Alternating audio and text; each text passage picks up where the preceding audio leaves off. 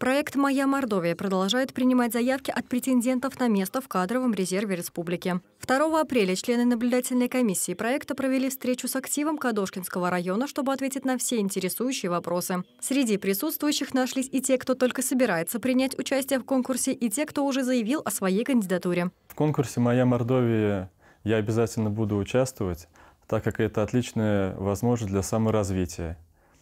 Э, и надеюсь, то, что мое участие не останется незамеченным. Принять участие в ней могут абсолютно каждый, самое главное было бы желание. А республиканский кадровый проект «Моя Мордовия» а, позволяет выявить, развивать и поддерживать перспективных руководителей, обладающих высоким уровнем, уровнем лидерских качеств, готовых работать на благо Мордовии, на благо своей малой родины.